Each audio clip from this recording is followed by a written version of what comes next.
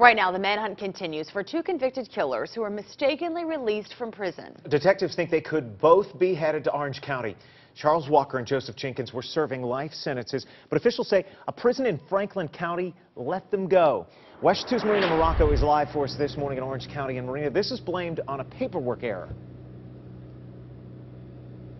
That's right, Jason. And you know, these men essentially walked right out through the front door of that state prison up in the panhandle. But they're both from this area, Orlando and Apopka, and they both committed their crimes here in Orange County. And that's why the Florida Department of Corrections has asked the Orange County Sheriff's Office to help find these men. The hunt is on this morning for two convicted killers accidentally released from state prison. Detectives think they could both be headed for Orange County.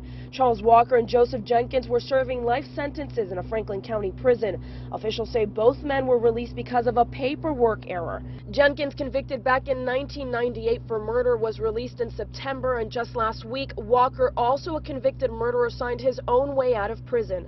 Well, uh, it shouldn't have happened. That's correct. But it did happen, and what our concern is to get these individuals into custody. The Florida Department of Corrections says both men gave the addresses they say they'd be staying at once released. Those addresses in Orange County. Florida DOC sent us a statement saying their releases were based on fraudulent modifications that had been made to the court orders that determine their length of sentence.